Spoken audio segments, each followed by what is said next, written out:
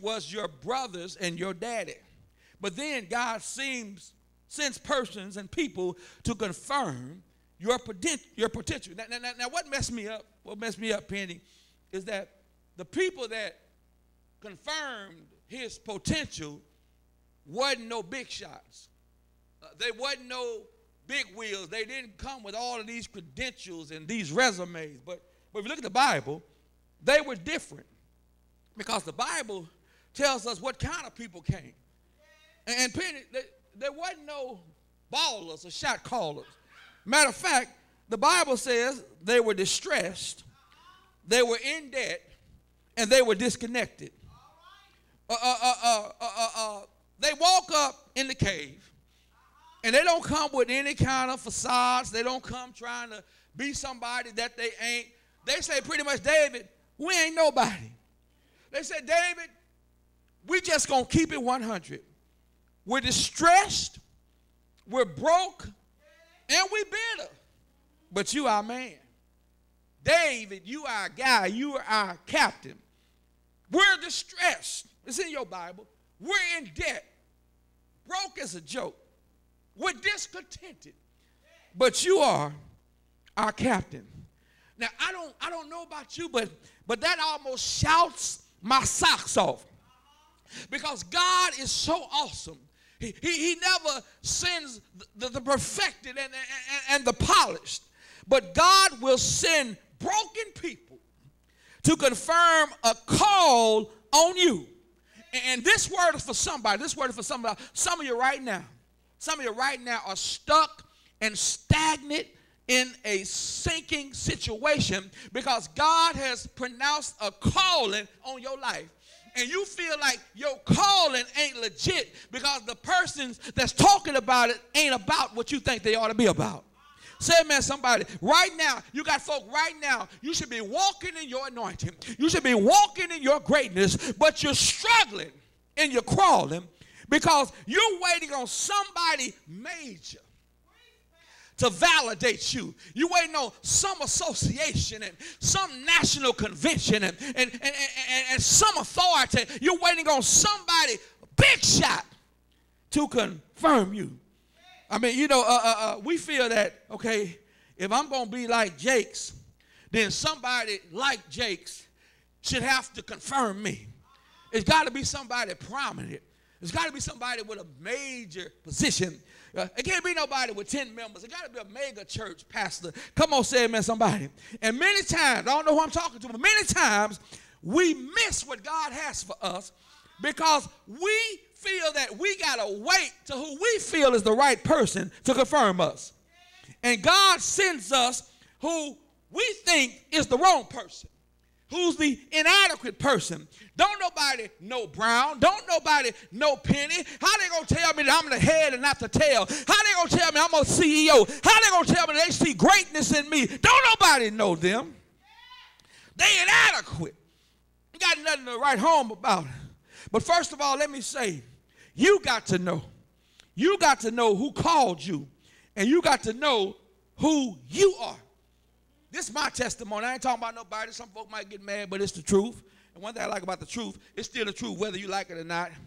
But when I was coming up, we had the district, association, state, national, and, and, and even locally. I remember locally in our district, uh, you were confirmed as a special preacher or somebody on a fast track.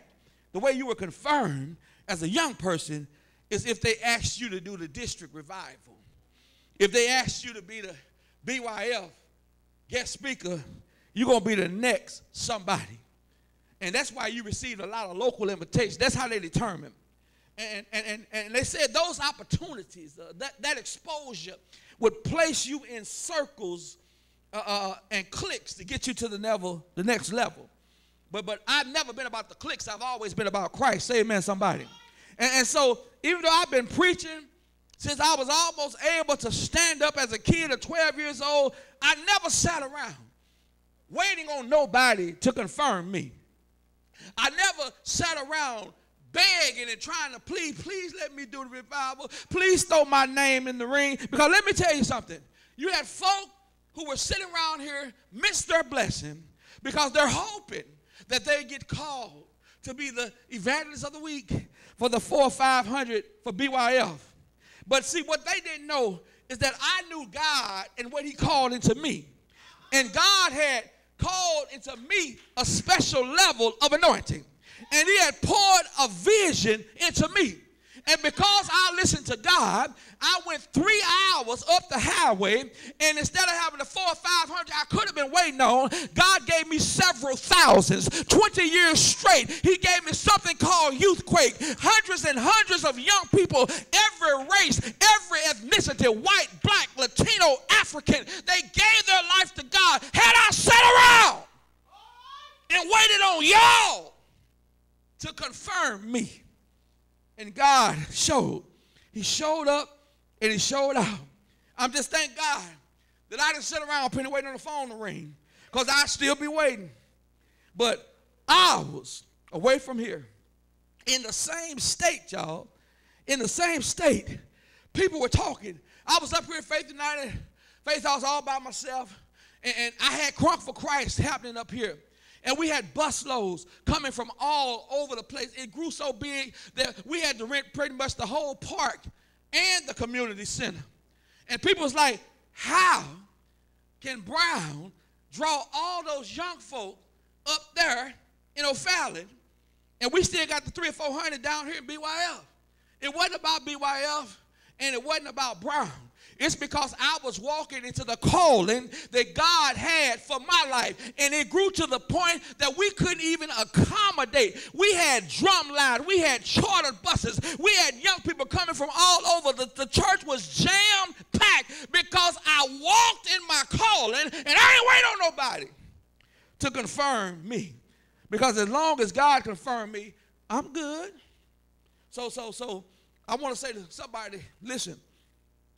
Many times you miss it because you're waiting on the person you feel is right. But let God do it. So David shows up, chapter 16. He gets anointed in chapter 16 to be God's first selection for the king of Israel. Now watch this flow. Watch this flow. Chapter 16, uh, selection Israel. In chapter 17, he kills Goliath. In chapter 18, he jukes the jealous javelin of Saul. In chapter 19 through 21, he's a fugitive on the run.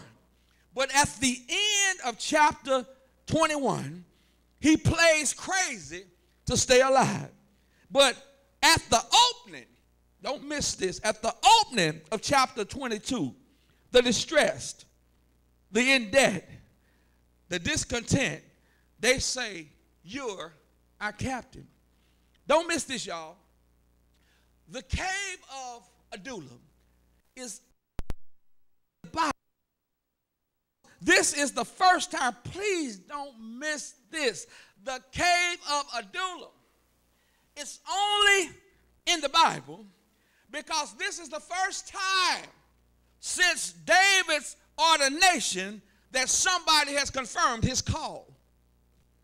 Woo-hoo! Preach, Pastor, if you got to, about yourself. Listen, y'all, nobody started following David until he was in the cave, until he was at his worst moment, which meant that God confirmed David's call on his life during the worst time of his life. I don't know who you're talking, I don't know what you're looking at, but let me tell you, beloved, when you're at your lowest, stand still and see the salvation of the Lord because that is the exact time when God will turn that thing around. And many times, God will send the people that you would have been the last and the least expected to do it. Preach, Pastor, if you got to all by yourself. The worst time devil is a liar. This screen going, the devil is a liar. The worst time. And it's the first time that his life began to look anything like his calling. Whatever you're doing, just hold it right there. Don't touch now. We, we good. Uh, uh, uh, uh, listen, y'all, don't miss this. Up until this point, up until this craziness, up until these catastrophic circumstances, up until this, this, this, this, this, brokenness, wasn't nobody following him. Sometimes God will wait until the worst time of your life to confirm the call on your life. And I don't know about y'all. I'm trying to keep it together, but but but but, my socks about to shout off, y'all, because God will use. Peter, he'll use the worst people to give you the right confirmation. Come on, say it, man, somebody. God will use who you think is the wrong crowd for the right confirmation. I mean, check it out for yourself. They're 100 to the core. It said, D, we don't have nothing to offer you, bro, because we broke. Then we stressed out, and then we're discontented. Bro, we don't have nothing to offer you. We broke, stressed out, and discontented. Now, now, now, the word discontented right there in the Hebrew, it is translated that we are bitter in spirit. However, despite how tore up from the floor up we are, and how jacked up our lives are, we still see God's hand on your life. Here it is. We weren't in chapter 16 at the ordination and at the all at the oil pouring ceremony, but we're in the cave now to say the same thing to you that God said to you in chapter 16. Let me tell you, I don't know, let me tell y'all, some of y'all right now, you're missing your blessing. Don't you go out here and miss your miracle because you judging a book by its cover. I don't know who this word is for, but it's for somebody. Stop waiting on perfect people to make you legitimate. People that you think that are perfect, that make you too legit to quit. Because God will send a misfit to fit you into the miracle that was meant for you. Say amen, somebody. They know, no matter how it looks, because we see what God said about David, they know that when they submit to David's leadership, they will not remain in the same state and the same status that they're in.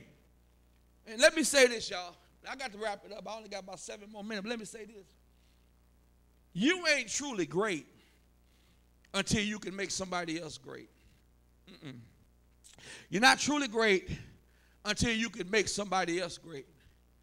Michael Jordan, arguably, in my opinion, the greatest. Ain't no other GOAT. Is Mike. But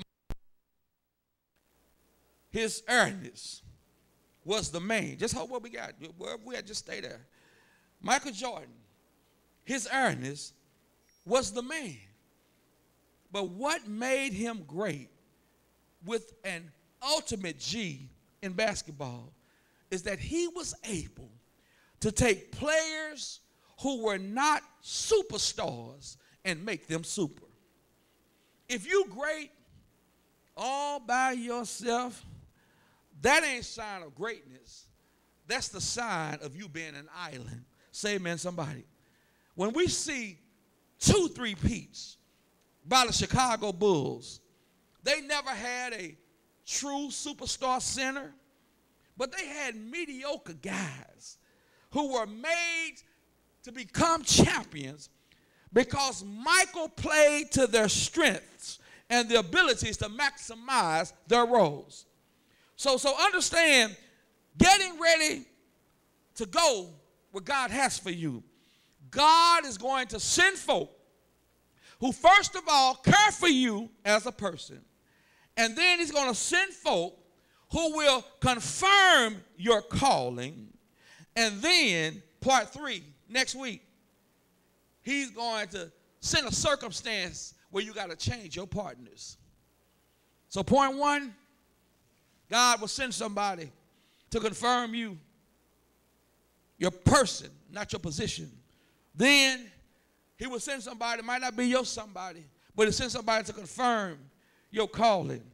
And on next week, on part three, He will cause you to change your partners. I'm done. I'm done. I hope that you were blessed. I hope that you were blessed. And if I want you to come back to church, because it didn't take a whole lot to say a whole lot. And at the time that it took, it's what was said at the time that was given.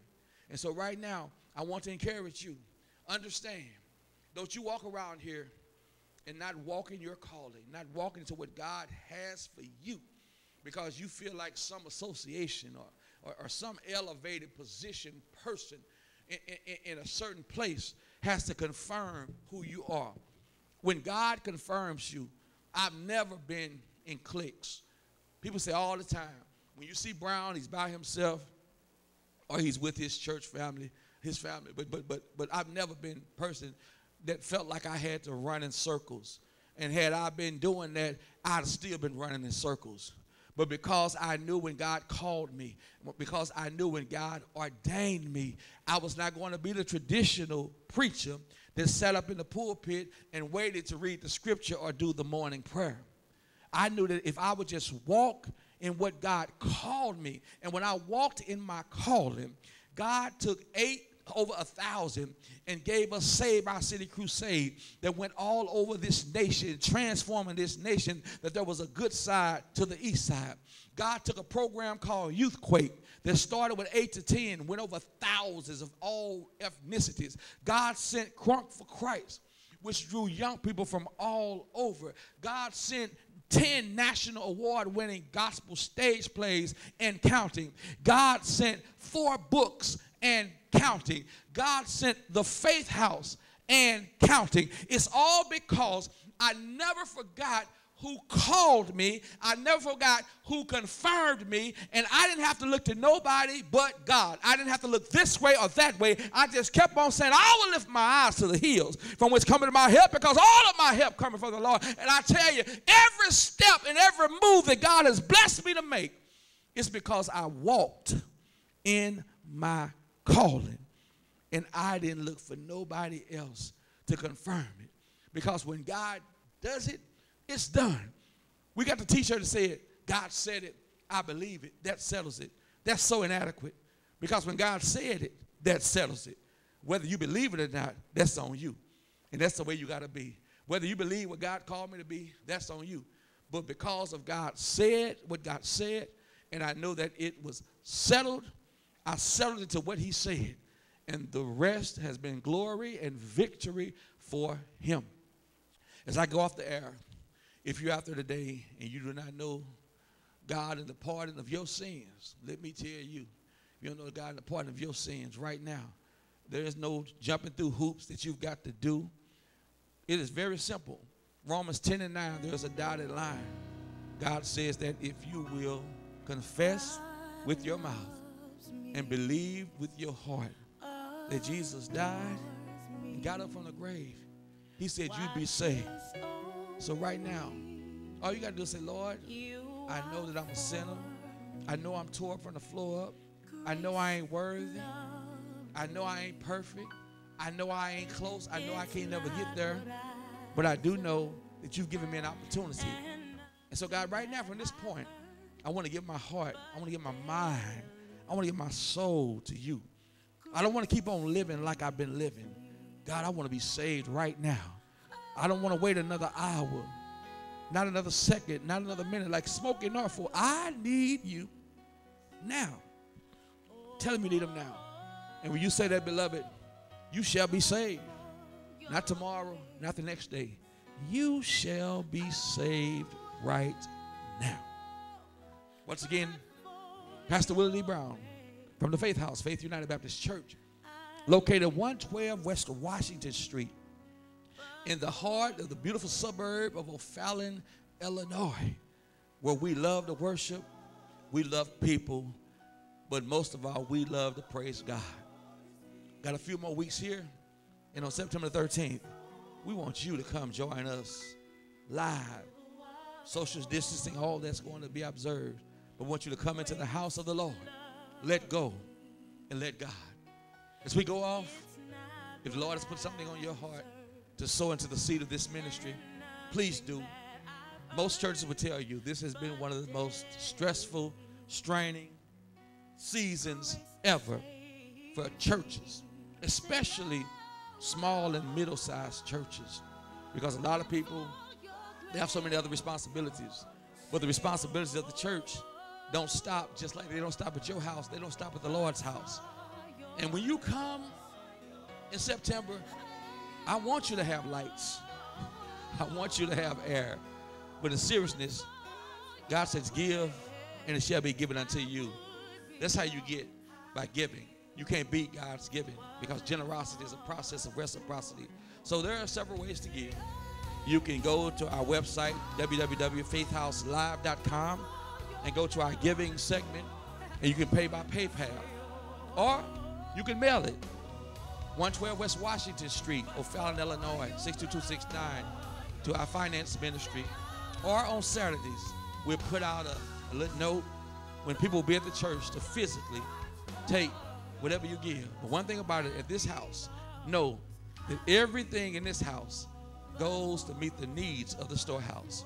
My friend, remember, God will, just like David, he'll send folk to, to, to be there for you as a person, care for you as a person, not your position. Then he'll send people to confirm your calling that he gave you. And last, there'll be another part three that God will have you change partners as you go on into your journey. God bless you. Father God, thank you once again.